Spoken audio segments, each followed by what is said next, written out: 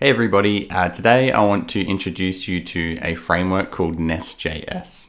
Uh, Nest.js is a framework we can use for building backends for our Ionic applications. Uh, it's not specific to Ionic, it's just used for creating servers in general, but uh, obviously this channel and my blog focuses a lot on Ionic, so that's what we will be looking at. And so Nest.js is built on top of Node and Express, uh, which is probably the most popular way to build servers with JavaScript. And I guess building backends with JavaScript is a, a relatively new thing. I mean, it's been around for a while now, uh, but JavaScript is typically a client-side language that we use to build the front end, uh, but we can now also make use of that on the back end. And so we can use JavaScript just about everywhere. And so Node and Express are very, uh, very popular tools, uh, but Nest.js is built on top of that to provide a more Angular style experience. And so when you start a new Nest.js application, you will be dropped in an, an environment that looks very much like a, a normal front-end Angular application uh, with a few differences. And what you end up building uh, will create your backend. Uh, you'll create a server, you can connect it to databases and do all the normal stuff that you do uh, with a backend for your application. So in this video, we're just going to focus on getting a basic project up and running. We're going to run through using the Nest.js CLI, starting a project, uh, getting a basic uh, server setup, and then communicating with that through an Ionic application.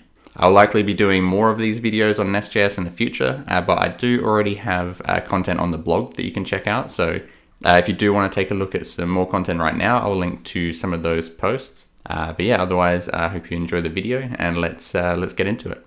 Okay, so I've got the Nest.js documentation up here, which is of course a good starting place for anyone. I'd recommend coming through here and just taking a look at uh, just the setup steps and the basic concepts behind the framework.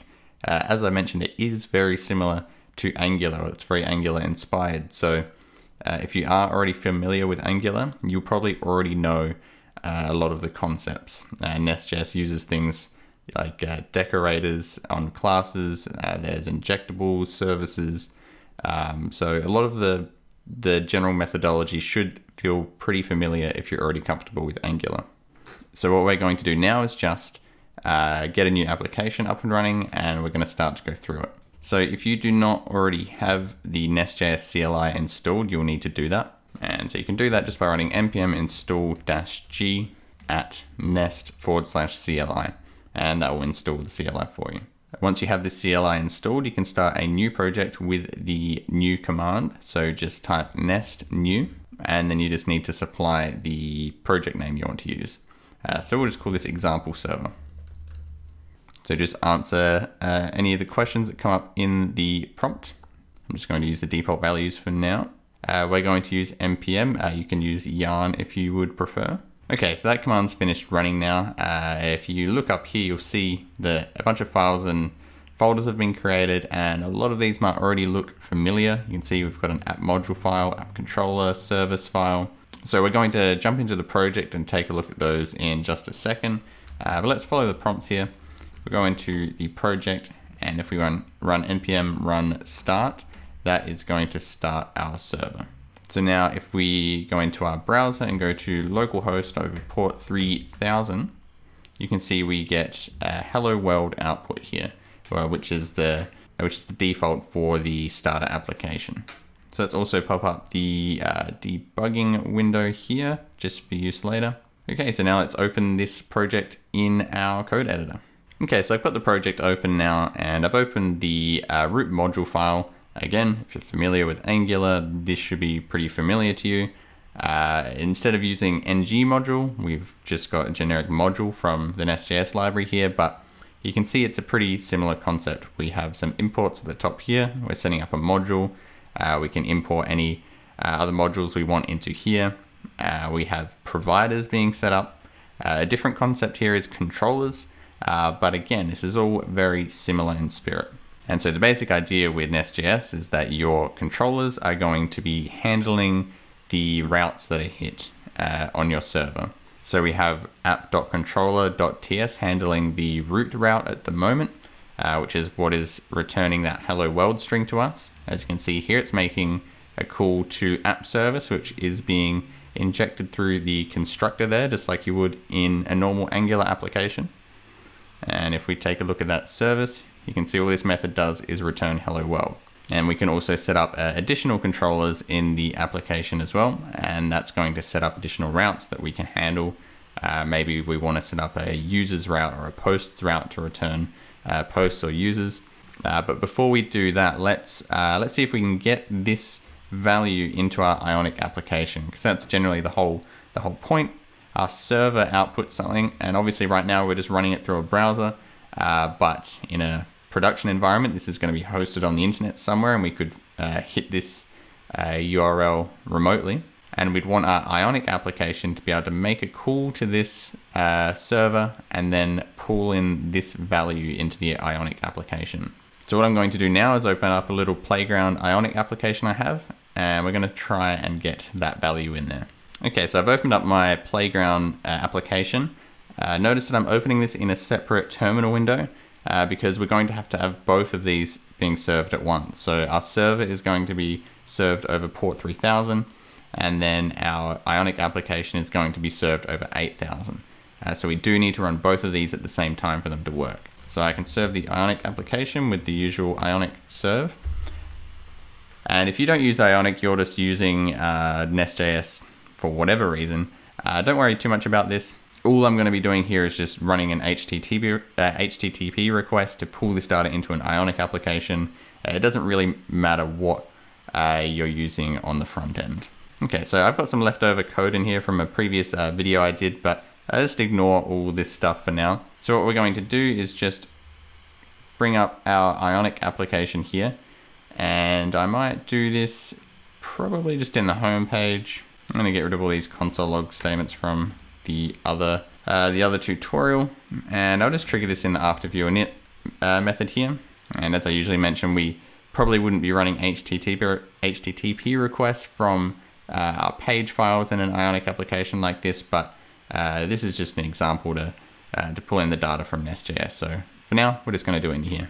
And in order to be able to make an HTTP, HTTP request, that is surprisingly hard to say, uh, we, need, we need to set up the HTTP uh, client and client module first. And again, this is a Ionic Angular specific thing. So if you're not using Ionic, then you'll just have to do whatever it is you do in your uh, front end that you're using. So import the HTTP client module from Angular common HTTP. I think that's right.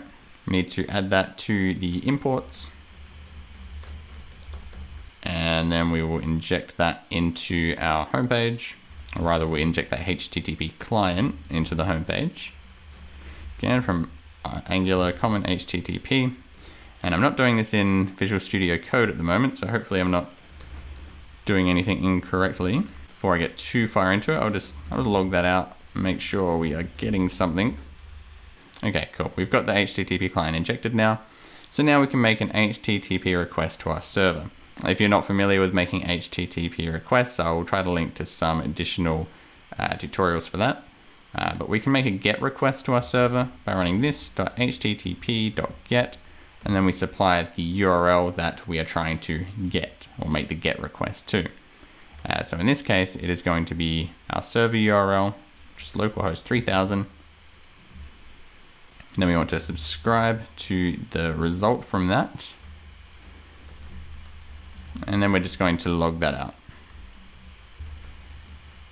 And hopefully we should get a response here in the Ionic app. Actually, we're getting the a CORS error. And again, I'll link to uh, some another tutorial explaining CORS, Uh, but basically, what CORS does is prevent uh, requests across different domains. So technically here we're on a different domain, going from one port to another.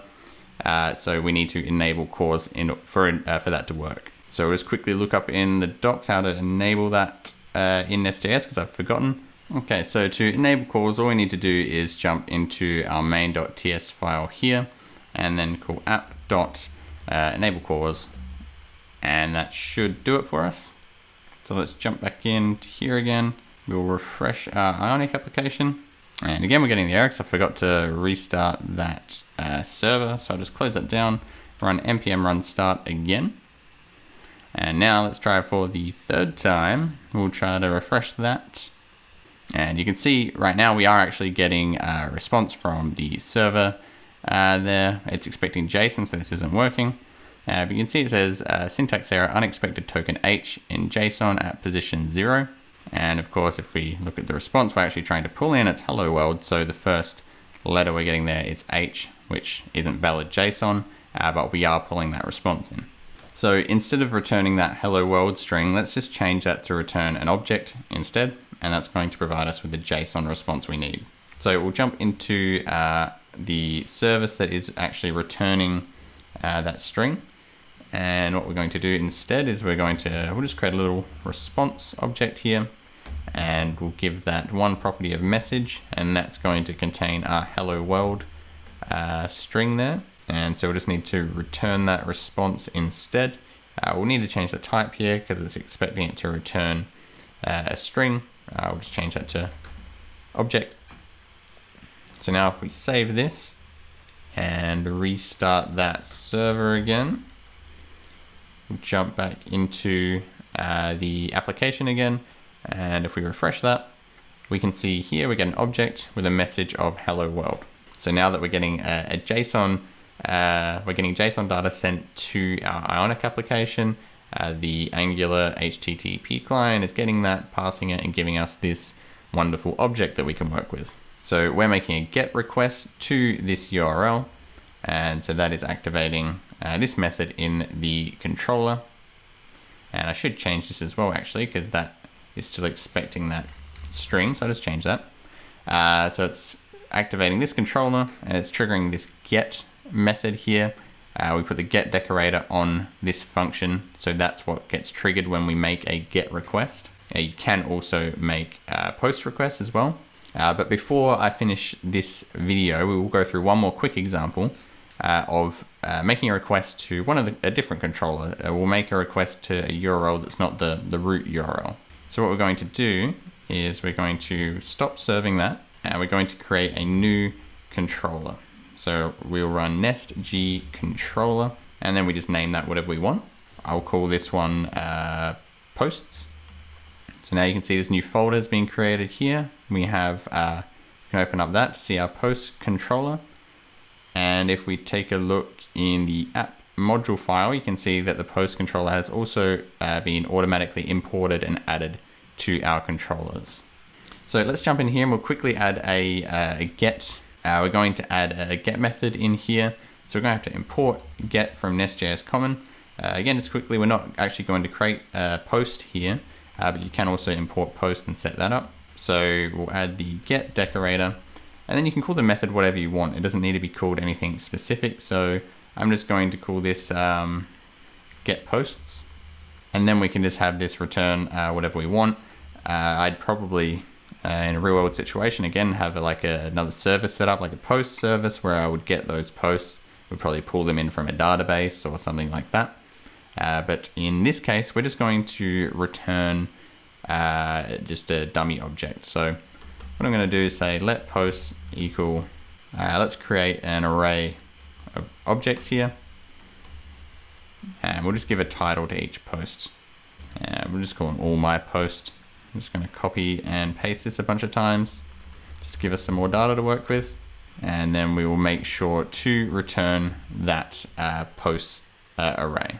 So what I should be able to do now is if we jump uh, back into our playground application, instead of hitting the root URL here, if we hit forward slash posts, and since we're making a get request to that URL. We could also make a post request to trigger a different method, but we're making a get request to post, so that should trigger this controller. It's going to hit this method here, which is our, our default get method.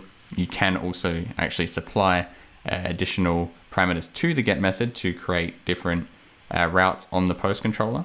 Uh, but we're just going to make a request to that uh, default route there.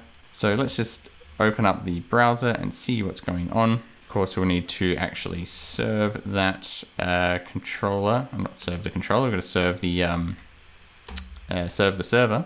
And once again, we will refresh our Ionic application and cross our fingers. And cool. So we have that array being pulled in now. So we made a request to forward slash posts, which we can just do in our browser as well to see the result. And that is returning all of the posts from our server. And so obviously there's a lot more you can do. As I mentioned, you can set up uh, additional routes on that post controller. Say if we wanted to uh, have uh, a route that would accept an ID value. So I could go to post forward slash 12 and then do something with that. Obviously we'd use that to then grab a specific post and return that to the user. And so of course Nest.js is a fully fledged framework. You can do a lot more stuff with it. As I keep hitting on, it is Angular inspired. And so everything, or rather most things, I guess, that you'd expect to be able to do with Angular, you can do in Nest.js, which just creates a, really nice environment to work with uh, for people who are familiar with Angular. Uh, it's really nice to be able to uh, start up with a new technology and already sort of feel at home with it a little bit. Okay, so I hope you enjoyed this uh, little introduction video. If you did like this, or if you do want to see more Nest.js videos in the future, please uh, do leave a comment because I'm not really sure how much interest there is out there for Nest.js specifically, uh, although I do really like it a lot. And yeah, otherwise, please do feel free to like and subscribe, and I will see you in the next video.